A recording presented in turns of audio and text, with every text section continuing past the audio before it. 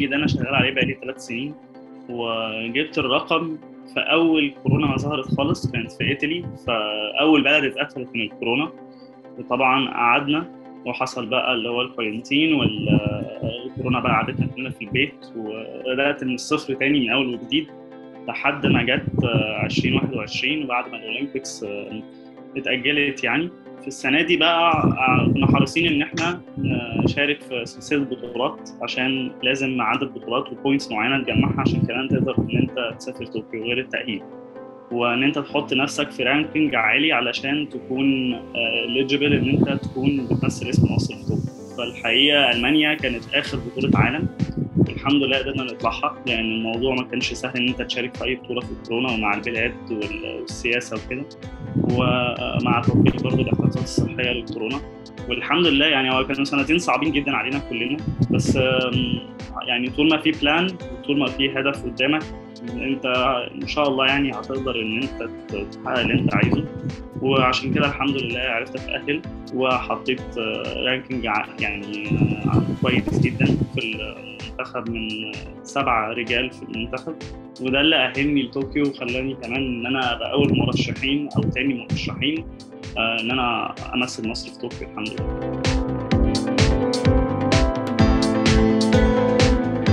من أول 2020 كنت أنا جاهز بالرقم وكان لسه في فبراير كانت في إيطاليا بس كنا بقى جاهزين إن إحنا نروح ونتأهل وبعد كده نشتغل أكتر على طوكيو بس الحمد لله برضو إن هي لما اتأجلت وقعدنا تاني كان برضو في exceptions كده إن أنت ممكن تروح تتمرن في حتت معينة في البيت عندك تعمل fitness فده كله برضو إدانا فرصة أكبر وأكتر إن إحنا نغير ال plan بتاعتنا ونظبط مشاكلنا ولو في أي حاجات تتصحح في style في fitness في حاجة في physically فيك عشان تقدر تحسن الرقم. فيعني هو على ال two sides يعني اتضرينا وفي نفس الوقت نفعتنا. بس نفعتنا ممكن تكون أكتر شوية. الواحد عارف برضو يأهل نفسه أكتر ويشتغل على نفسه أكتر ويعرف مشاكله أكتر ويحسن منها. والحمد لله اللي إحنا وصلنا له فعلا بسبب الموضوع ده كويس.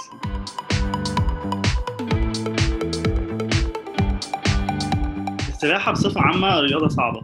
يعني رياضة ما ينفعش إن أنت تيجي تعمل معسكر زي معظم اللي أنا بسمعه في المعسكرات المفتوحة في الرياضات المختلفة إن هم مثلا بيجوا قبلها بمدة معينة وقبل البطوله ويجهزوا لها. لا إحنا عندنا الرؤية الفنية كانت بتقول إن السباحة لازم طول على مدى الطويل. وطول الوقت انت بتتمرن. كل في الأجازة مش في الأجازة هي بس ال season ال off season بعد البطولة خالص بتاعت كل بطولة عالم في كل سنة بتريح لكن غير كده السباحة نفسها محتاج تطور من ال endurance بتاعك من محتاج تطور من ال sprinting بتاعك. فالحاجات دي كلها بتلعب في حاجات معينة في ال physically في الجسم. صعبة شوية إن أنت تطورها محتاج طول الوقت عمال تتمرن ولو عايز تزود كمان في ال dose بتاع التمرين بت بتزود. طبعا على حسب ده الرؤية الفنية بتاع كل جهاز فني لكل منتخب سباحة.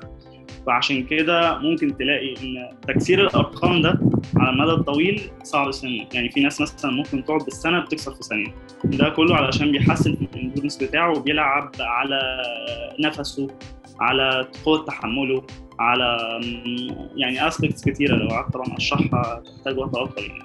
فده السبب ليه؟ لأن ال talents اللي طلعت مرة واحدة أو الناس اللي اشتغلوا على نفسهم جامد وما وكانوا resistant في السباحة وكانوا وال consistency برضه في السباحة مطلوبة جدا.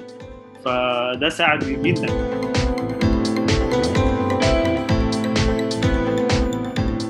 هو في الأول كانت كعلاج وكان النصيحة الوحيدة اللي اتقالت لي قالت لي أنت حالتك أو ال case بتاعتك صعبة complicated ومفيش ولا international حد international ولا حد national يقدر يساعد في الموضوع ده لأن إحنا تواصلنا مع ألمانيا مع أمريكا وأنا بقى كنت صغير ولسه baby وبتاع فالموضوع ده كان صعب جدا. في الآخر قاموا قالوا لهم حله هو الميه فالموضوع شوية بشوية كبر معايا جدا. وتطور بشكل يعني غير ملحوظ ممكن في سنة كده من السنين لقينا نفسنا بنقول بطولة جمهورية ويلا بينا عشان نشارك. وجنبي competitors وجنبي ناس بأعمار مختلفة وأنا كنت ساعتها لسه 13 سنة. والحمد لله كانت أول بطولة ليا برضه بتاعت ال bronze medal وبعدين بدأت بقى إيه زي الأولمبيكس بقى بالظبط وزي الاسوياء تشالنجز بقى وبطولات وميداليات. وأرقام دولية وأرقام عالم وأرقام تأهيلية و... لا الموضوع بعد كده كبر بقى بعديها بشويه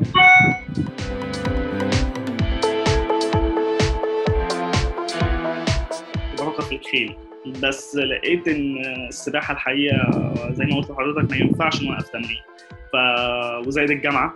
وزائد بقى ال commitments الثانية فده فعلا السباحة كانت واخدة وقت كله. وبعدين حبي للسباحة برضو أكتر كان مديني focus عليها. ممكن أي حد كان يقول طب نص للسباحة ونص لحاجة ثانية بحبها.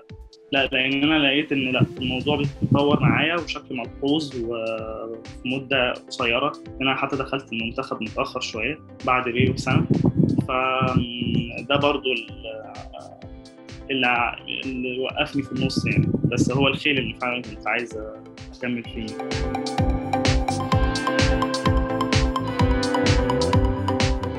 دايما سامع إن بطولة الأولمبيكس دي مش زي أي بطولة تانية خالص. يعني ولا بطولة عالم بتحصل كل سنة ولا سلسلة بطولات بتشارك فيها عشان تجمع بوينتس لأ. الأولمبيكس دي بتجمع بين يعني أول مثلا 10 16 10 20 أول على العالم أسرع ناس على العالم وفي الآخر بيجوا في ال final بياخدوا أول 8 على العالم. فزي ما بيقولوا ال Olympics دي هي دي اللي بتقول بقى إيه كل واحد ال ranking بتاعه فين. فانا لما جيت بصيت في 2017 قلت طب إيه اللي أنت ناقصك؟ فلقيت إن حد international مثلا بأفكارهم المختلفة ومبتكرة وكده لقيتهم بيتمرنوا ب dose معين من ال sessions بال swimming classes وكده. قمت عملت ال double على طول. يعني أنتوا بتتمرنوا تسعة طب أنا هتمرن 12 أنتوا بتعملوا fitness كذا طب أنا هعمل كذا. وفعلا مشيت ورا ال plan دي قلت يعني أكيد ربنا طول ما حد بيجتهد فإن شاء الله هي هيجازيه خير. فلقيت فعلا إن أنا في خلال كانت بطولة العالم في لندن 2019 بعد ما طلعت منها ما كنتش متأهل لطوكيو. طبعا دي كانت صدمة كبيرة ليا. وبعدها كان بشهرين في بطولة جمهورية. وأنا قلت هي البطولة دي اللي أنا هشوف فيها المؤشر بتاعي. وفعلا من بطوله من بطولة لندن لبطولة الجمهورية كسرت الكم من الثواني غير طبيعي ولقيت إن فعلا هي إن أنت to change your plan أو to change your goal يعني أو sorry to change your plan وتحط الجول مظبوطة. فدايما طول ما أنت حابب حاجة في النص كده هو حاططها قدامك ال plan هي اللي لازم تتغير. ففعلا لقيت إن ال plan لازم تتغير وطبعا مع جهاز فني قوي. وبدعم اللجنة البارالمبية وبدعم معالي وزير الشباب والرياضة. وطبعا ال support الأول والأخير لشركة Allianz ال insurance company لل Paralympics وال Olympics. فكل ده ال aspect دي كلها وكل الفروع دي لما اتجمعت مع بعض كلها فالحمد لله ساعدتني جامد جدا إن أنا أوصل للحاجة اللي بتتكرر كل أربع سنين والمرة دي قررت خمس سنين. فالحمد لله وصلتني اللي أنا عايزه. الحمد لله. إحنا تعبنا وإحنا اتمرنا جامد وعملنا كل اللي علينا. و... والحمد لله كان ورانا جهاز فني قوي ومصر كلها كانت ورانا وبتشجعنا الحمد لله. ودلوقتي جه بقى اللحظة اللي أنا هحط فيها كل جهدي وكل كل ما بذلت. يعني حتى بيقولوا بيقولوا لي بيقولوا لي قبل ما تخش السباق وانت على ال block ال start block قبل ما تنزل المية. تخيل كده فلاش باك لكل اللي حصل لك قبل كده السنين اللي فاتت وطلع غيرك بقى في المية. يعني إن شاء الله إن شاء الله يعني اشرفت إن شاء الله في السباق. نعمل رقم كويس.